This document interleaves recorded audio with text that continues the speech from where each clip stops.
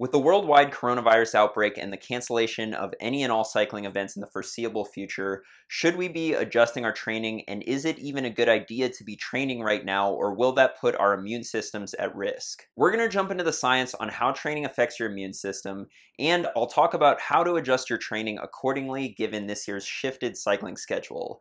This is one of those cases where actually taking a look at the science completely shattered my preconceived notions on this topic, so you won't want to miss this.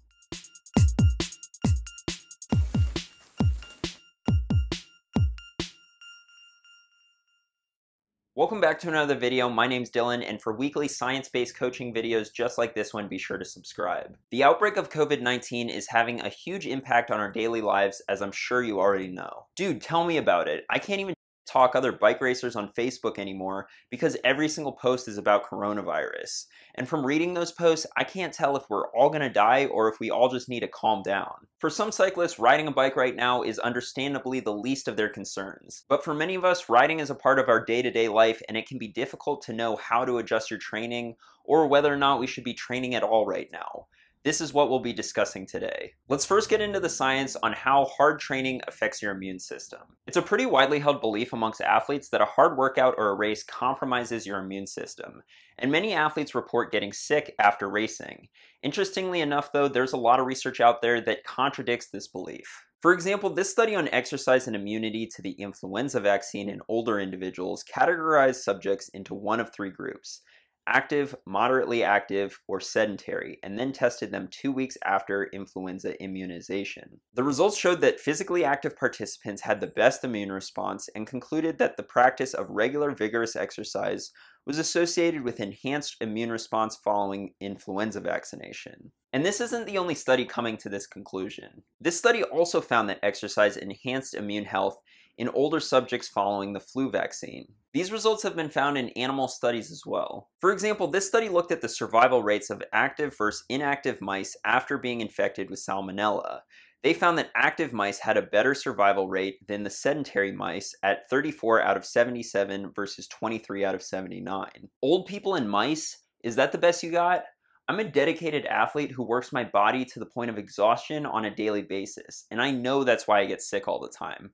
Of course, celebrating my mid-pack Zwift race finish at the bar every night probably doesn't help. I had this same skepticism when reading these studies. Of course, living an active lifestyle is good for your immune system, but what about putting your body under a considerable amount of stress like we do when we race or do a hard workout? Surely that can't be good for your immune system, right? This study on infectious episodes in runners before and after a race compared the incidence of infectious episodes in 273 runners during the training period before and after a 5K, 10K, or half marathon race. What they found was that 34% of the runners who had trained less than 15 hours per week had at least one infectious episode compared to only 25% for runners who trained more than 15 hours per week. Basically, those who trained more got sick less. On top of this, during the week following the road race, runners did not report an increase in infectious episodes as compared to the week prior to the race. They concluded that runners with a more serious commitment to regular exercise may experience less infectious episodes than recreational runners because of both direct and indirect effects on immunosurveillance. In addition, the stressful race experience does not appear to increase risk of acquiring an acute respiratory infection. And again, it's not just one study coming to this conclusion. This study reported better immune function in marathon runners over sedentary controls. And both these studies on large groups of ultramarathon runners reported that these athletes report fewer missed days of work or school due to injury or illness. Although on a side note, they do appear to have more stress fractures involving the foot, which is absolutely shocking news to hear from a group of people that run 161 kilometers for fun. In all seriousness, if any athletes are severely stressing their body through exercise, it's ultramarathon runners. And it appears that they're as healthy, if not healthier, than the general population. Why is this? Most athletes will tell you that training compromises their immune system. However, when you look at the science, this doesn't appear to be the case.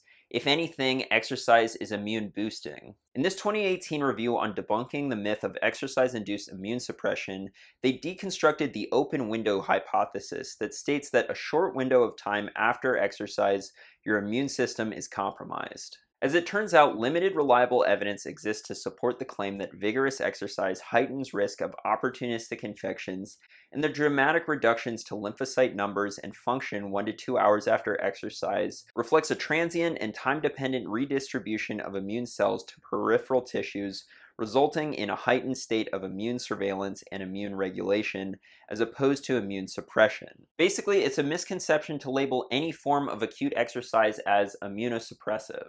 Instead, exercise most likely improves immune competency across the lifespan. To be fair, there is research out there that supports immune suppression with exercise, but these studies are few and far between. The balance of evidence shows that exercise is beneficial to your immune health even when that exercise is long in duration or high in intensity. Getting sick after a race could be caused by a number of factors, like stress, travel, lack of sleep, or simply being exposed to more people. So in short, should you stop riding your bike so you don't suppress your immune system during the coronavirus? No, not at all. If anything, you should continue riding your bike to improve immunity, especially in this time of high stress. This study on physical activity, stress, and self-reported upper respiratory infection found that highly stressed people, particularly men, appear to benefit more from physical activity than those with lower stress levels. Now, some countries like Italy and Spain are currently not allowing cycling outdoors, not because they're worried that cyclists will catch the coronavirus while riding, but because they want to minimize the number of hospital visits from people in cycling related accidents. This is also the idea behind the flatten the curve slogan that you've been hearing. If we all practice social distancing, then coronavirus won't spread as fast and we won't overwhelm our healthcare system. This is super important right now and is the reason for races being canceled and also why you should probably stay away from big group rides or ride indoors. But it's also a good reason to be especially careful if you do decide to ride outside. The last thing that you want now is a trip to the hospital both for yourself and for the people suffering from the virus who require hospitalization and need treatment. Wait, so you're saying I shouldn't attempt the double black diamond drop on Farlow for the first time on my hashtag solo quarantine ride? With all that being said, the race season, or for those of you who don't race, the group ride slash let me show my riding buddies how much faster I am than them season is canceled for the foreseeable future. Many of you have been training all winter in preparation for this, and now you've got no butt to kick.